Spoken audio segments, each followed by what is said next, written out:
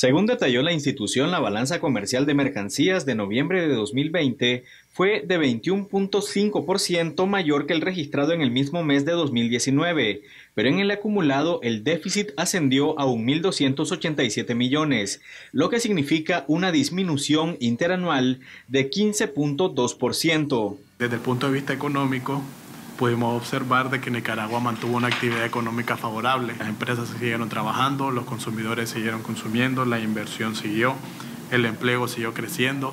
Entonces, ese, ese tipo de actividades fue lo que hizo de que las exportaciones de Nicaragua se mantuvieran a un ritmo de crecimiento esperado. Al haber mucho mayores exportaciones de parte de Nicaragua y un, un menor nivel de consumo, entonces eso significa que el resultado final va a ser un, un, beneficio para la economía eh, nicaragüense. Las exportaciones acumuladas a noviembre mostraron un crecimiento interanual de 7%, es decir, que se estiman en casi 2.626 millones de dólares, lo cual indica que va aumentando la productividad del país. Esto es, sin duda alguna, por el que se mantuvo la actividad económica en el país.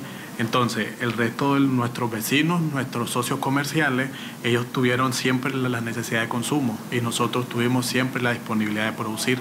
Entonces eso fue lo que hizo de que las exportaciones siguieran incrementando aún habiendo pandemia, aún habiendo huracanes. Bueno, esto significa que hay más ingresos de divisas, hay más empresas que reciben el beneficio directo de las exportaciones eh, eh, en su en los empleos, en las utilidades. En tanto, el acumulado de enero a noviembre de las importaciones tuvieron una contracción de menos 1%.